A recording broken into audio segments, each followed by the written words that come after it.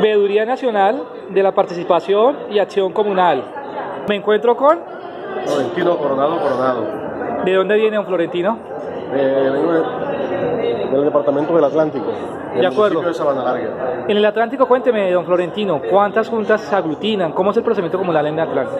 Bueno, en, en el departamento del Atlántico contamos con 617 juntas distribuidas en 22 municipios, de los cuales la, la cabecera, que Barranquilla, tiene una, una, federación, que es la Federación del Distrito de Barranquilla.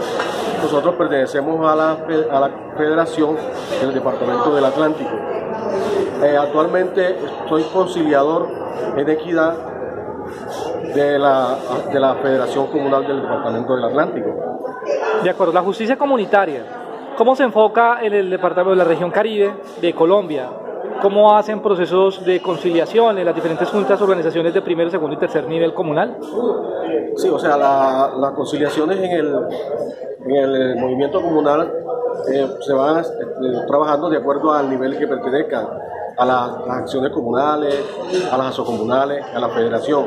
Siempre si no se alcanza a, este, resolver la, la conciliación, no se alcanza a, a realizar la conciliación dentro de la- del organismo interno, pasa al ente superior inmediato y así sucesivamente hasta buscarle solución al problema que se presente. Siempre se busca primero tratar de conciliar las partes, que lleguen a un acuerdo, si no se buscará la manera de, de ya este, de un un proceso, un debido proceso que se realiza para poder este, llegar a un acuerdo las partes que, que, bueno, no, no salgan perjudicadas ninguna de las partes en el conflicto. De acuerdo, don Florentino. En este momento, en el evento comunal, los 60 años, ¿cómo le fue en el evento? ¿Qué opina? ¿Expectativas? ¿Si se, las, si se generaron? ¿Qué, qué ocurrió? Sí, yo creo que se dieron muchas expectativas y se, se se logró de pronto una proyección, buscando un cambio, un mejoramiento y que esto sea una base para un mejor desarrollo y la integración de los, sobre todo de la, de la juventud en el proceso comunal. De acuerdo. Un saludo a los líderes sociales conciliadores de las diferentes comisiones de convivencia y conciliación de la acción comunal en el país.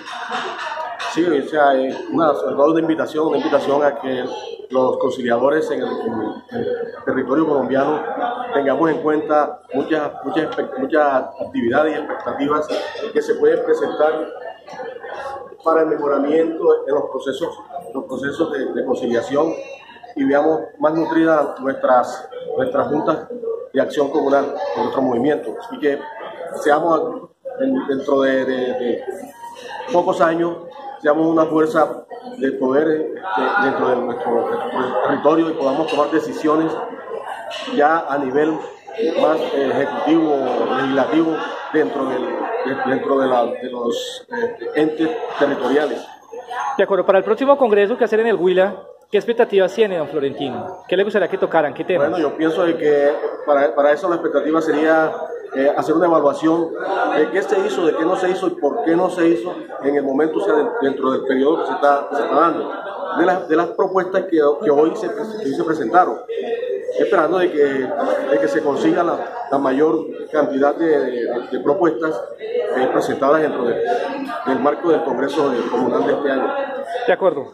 Al participar en un evento tan grande, donde intercambió conocimientos con muchos líderes, digamos, ¿eso es significativo para la participación en dichos eventos? Claro, es muy significativo porque conocemos pues eh, los diferentes problemas que se presentan en las diferentes regiones, o sea, todas las regiones en, en el, en el país, las regiones son diferentes, o sea, hay, hay mucha este, ho- homogeneidad. No hay, o sea, no hay homogeneidad, sino que son heterogéneas la- las regiones. Hay unas regiones más desarrolladas que otras y por ende la- la- las personas que allí se encuentran también cuentan con, con, esa, con ese, ese grado de pronto de, de desarrollo.